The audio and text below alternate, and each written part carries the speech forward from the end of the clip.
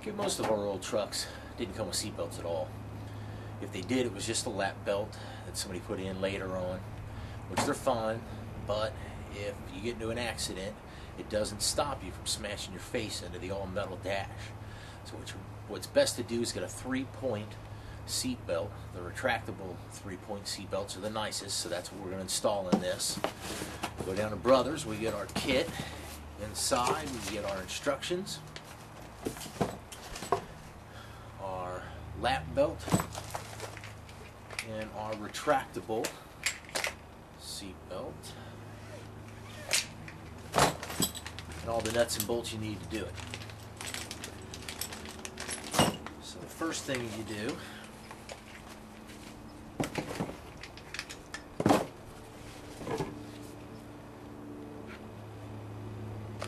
is get this piece make sure your straps are even on both sides.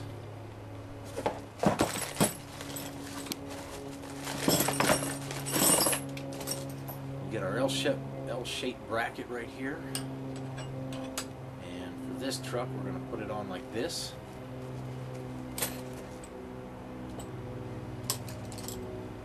A fine thread bolt.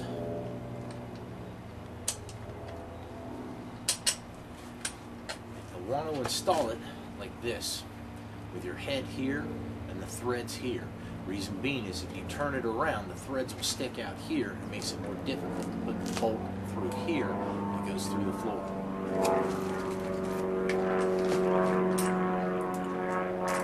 Your washers.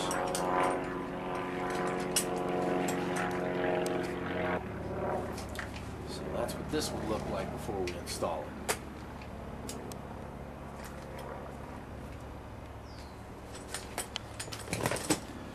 Now, I'll show you what we do inside the cab. And normally, on most cars, you would simply put this right about here somewhere. Only problem is, is that with the seat frame in here, this won't work because you won't be able to shut your door. You see it sticks over. So what we're going to do is we're going to go behind into this little corner right here. Tighten this down first, make it a little bit easier to work with. Okay, I like this bar slanted forward towards the seat. And this bracket's going to be straight down. Okay, so you can see how your seat belt is going to fit back there.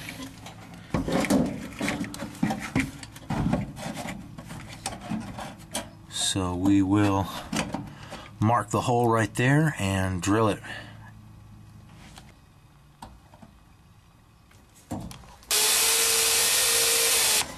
Okay, we've got our hole drilled down here on the bottom. So now what we'll do is we'll drill our hole for our shoulder right here in this arm right here. We'll take the, the uh, upholstery off right here and then we'll be able to slide our other bolt down inside. And in the car, you want to try this in a couple of different locations, just holding it up here and seeing how it feels against your shoulder. Generally, it's best to go up a little bit higher than you need to because uh, if you go down too low and it starts digging in your shoulder, it's uncomfortable. So if you go up high, then you've always got a little bit more forgiveness room there.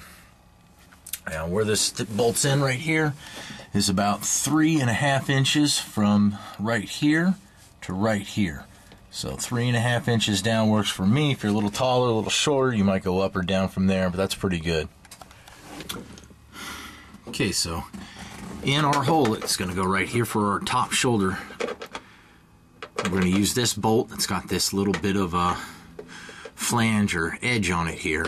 And you want to drill it just large enough so that the bolt will fit through but not pull through the flange. Now what we'll do is we'll take off our trim here and we'll slide our nut behind here. Okay, now we'll get one of these flexible tools that you typically use for grabbing lost nuts that fall down into doors and what have you. And we will attach it to this funny looking little nut right here, which is going to slide into the back right here. But how we hold on to it is we get this and we clamp it on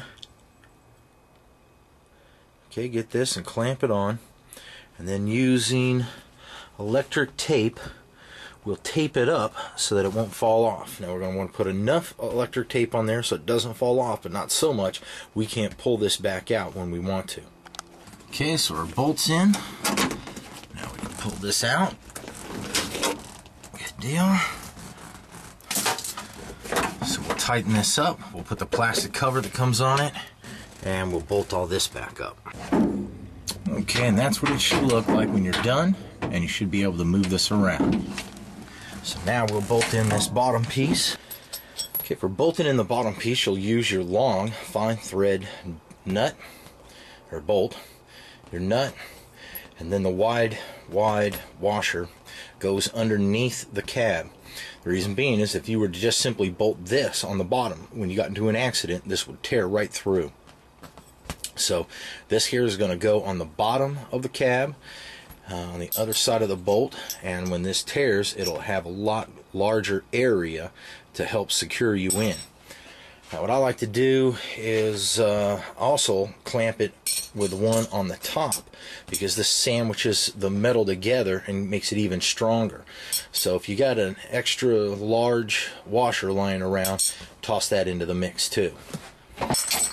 Okay, so when you bolt it on, that's what it's going to look like. You're going to have your nut, your bolt, your washer, your bracket, a, another large washer if you've got one laying around, your cab or sheet metal is going to go right here, large washer on the bottom, small washer, and your lock. Okay, with our shoulder straps all bolted in, we'll go ahead and put our lap belts in. So what you want to do is actually sit in it, hook up your belts and uh, see where it looks like it'll be comfortable to bolt this in. Okay, so once you figured out where you want it, you go ahead and drill your hole through the bottom of the cab and then you bolt this baby on. Same as you did the last time, it's going to be the long fine thread bolt. You're going to use the bolt, the washer, your bracket, then your sheet metal or your cab's going to go in between here. If you can find another large washer, use it. Then you have your large washer, your smaller washer, and your lock nut. So we'll bolt those in and be all done.